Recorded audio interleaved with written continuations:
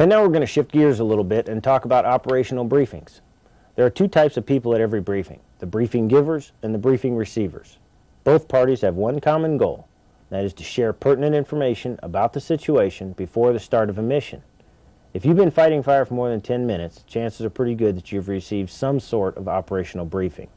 And if you've been around a while, you know that briefings can range between excellent and awful. Everyone seems to have their own style and format. So to get some advice on giving briefings, we talked to John Gould. John is, was a smoke jumper for many years and has a private pilot's license. He's currently the Wildland Fire and Aviation Safety Specialist for the BIA and is a member of the National Fire and Aviation Safety Team. Let's hear what he had to say. Well, in the aviation world, you can see that whenever a briefing has to be given, they do. They go by a checklist uh, front to back. And I think that it's because uh, it's so important that nothing be missed. Um, in the fire aviation world, you see it in uh, helicopter briefings. Uh, before you take a helicopter ride anytime, you have a briefing, and it all comes from a checklist. Uh, aviation, they're great users of, uh, of briefings and checklists. when you watch your pilot take off next time you take a flight, and look, and he'll be using a checklist uh, that uh, he goes through when he takes off, when he puts it in cruise, when he starts down on the descent to landing, and before landing. You know, there's checklists for everything because it's so important that nothing be missed. And I think that in firefighter briefings right now, if we could take a cue from the aviation world and uh, use a checklist, and, and, here in the Incident Response Pocket Guide, they're coming out with a, a new uh, briefing checklist that I think is an excellent checklist that uh, will help you develop your, your briefings and uh, put them out to your audience in, in such a way that uh, they'll be able to get what they need out of the, out of the briefing. And since it's in the Incident uh, Response Pocket Guide, I think that the receivers of the briefing will be able to follow along and make sure that they get everything they need to know out of the briefing as well. We traveled around this summer and heard a number of different operational briefings. Some were good and some were very bad. How often have you heard, watch for snags, watch for snakes, or it's going to be hot and dry today? Without details, these comments may not really help new firefighters. Many times the briefing giver fails to tell the receiver what they should do if they encounter any of these hazards. And what does hot and dry mean anyway in terms of temperature and relative humidity? We want to share with you a clip from a good briefing that we heard in Idaho. Pay attention to the use of a checklist, and particular attention to the detail in which the provider gives in terms of hazard mitigation.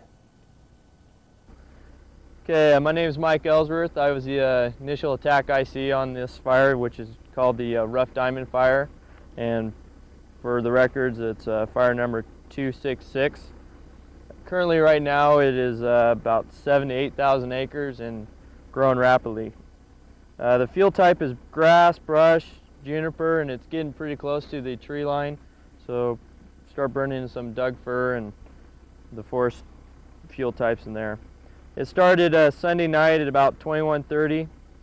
Uh, four BLM engines attacked it, and uh, then about yo yesterday afternoon, about two o'clock, it made the big run, and obviously you see what we got now. The weather for the today will be uh, 83 to 89 degrees. RH is 7 to 13. Um, yesterday, about 9, 9% RH is when the big run made it. So anytime in our district we get below 11% is when we start experiencing the extreme fire behavior. The winds are going to be similar to what we have, have seen, 5 to 15 miles per hour with gusts of 20 out of the north-northwest. Um, unfortunately, it's 9.45 right now, and the winds have already picked up. Uh, I think last reading I got was about 11 miles per hour. So be aware of the winds. That's going to be your main problems for the day. Some objectives for the day. Uh, we have a town south south of uh, the fire right now, about three miles, called Silver City. It is a not only is there residence there, but it is a major historical town in in Idaho and the area. Uh, we have an urban interface structure team established there with dozers to do prep work for the town. Uh, we also want to keep the fire west of the Silver City Road, which is this road which takes off on this side, on the east, and also maintain any line that we have put in. We also are having a pretty aggressive air show, uh, three helicopters, two seats, three retardant planes, and, a, and lead planes and air attack is all up there. So you'll hear quite a quite an air show going on today. Um, as far as resources, we have seven BLM engines. One one of those is a light, eight hand crews, five dozers, and six tenders. And refer to your uh, IAP of what resources are um, delegated to your division.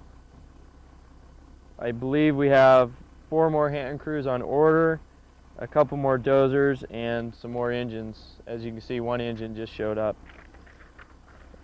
Also refer to your plan for your communications. Basically, uh, Boise Direct will be our command. TAC 1 is Division A, TAC 2 is Division B, and the Idaho SOA is our air to ground. Uh, like I said before, the Urban Interface Group has been established and may be, and you as a hand crew may be called upon to help them out. So refer to your Urban Interface Watch Out checklist. The fuel moisture in the area are extremely low for this for this uh, year. We had very little snowpack, which has in turn made the uh, fuels extremely dry for the summer. Like I said before, 11% RH is when we get extreme, extreme fire behavior. Uh, topography is steep and there are some canyons. Uh, this is where the fire is making its biggest runs are in the canyons. Um, at nighttime we are experiencing a lot of runs downhill due to the about 10 mile per hour downslope winds. As far as safety is concerned, um, first of all, driving out to the fire line, this road is pretty gravelly, so let's keep our speed down to about 15 to 20 miles per hour and our lights on and make sure communication is with other people. If there's a car coming on, let everyone know. Due to the rocky terrain, the footing is going to be a problem. Uh, watch above and below other crew members for any rocks that's coming and make sure you call out rock and they can hear so when no one gets a big old rock in the noggin. Snakes are in the area. Rattlesnakes is the um, main species. Avoid the snakes. Do not attempt to hand, handle the snakes. And inform other crew members that you found one. Yeah, they're fun to look at, but leave them alone. They do bite, obviously. If you do get bit by a snake, we'll uh, initiate the medical plan, which is to contact your crew boss, Division Soup, which will contact Helibase, where we have a couple EMTs on board there. Uh, LCS, utilize human repeaters. If your communications down in can canyon is sort of tough, have a guy on top of the hill so that he can be a human human repeater for everyone. Uh, because of the steep terrain as well, you probably want to establish two escape routes to, to your safety zone. Right now, we've been successful of using the black as our safety zone. Hydration, uh, make sure that everyone has two gallons of water per person. It is going to get hot and it is going to be dry and it is going to be some uh, nasty climbing for you guys. So if you need more water, let the let your crew boss and the division soup know, and we can uh, ferry some out on the helicopter. Watch out for unburned fuel between you and the fire line. You may be going indirect if the fire activity picks up again today. Um, you may be caught in the bottom of a draw working, mopping up, and you can't see the main fire. Make sure you're establishing your lookouts to take care of that. Um, it is going to get hotter and drier today. The winds are increasing, like I said, 11 miles per hour. Uh, in the canyons, there's some going to be some erratic winds. So if you got fire out there, just be aware of that. Also, if any wind changes or temperature changes you're noticing, don't keep that information to yourself. Pass that on to your crew boss and your division soup so that division soup can let other resources know about the wind change and the weather changes. Uh, also, if a burnout is necessary, we did quite a number of burnouts. As you can see, we're doing one right now, which is being, which is uh, actually been very successful. Uh, do not ignite any burnout until division soups and operations chief know about this. That way everyone can be planned and, and on the same page. Uh, Go over the 10 and 18 today before you head out to the fire line. Check your urban, especially the urban interface checklist, because that may be a factor today or tomorrow. And utilize risk assessment at all possibilities. Is there any questions from the crew?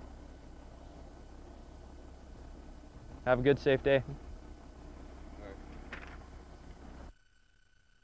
A good briefing is vital to safe fireline operations, yet we spend very little time training people on how to properly deliver a good briefing.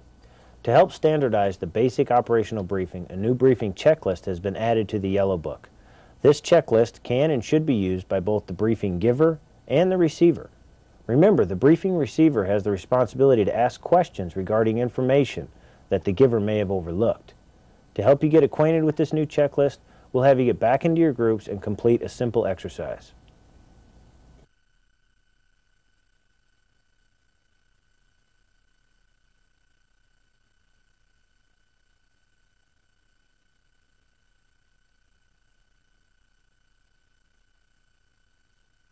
Well, after that exercise, I'm assuming you'll be rather critical of briefings this coming summer, and I hope that if you have to give a briefing, this checklist will help you organize your thoughts.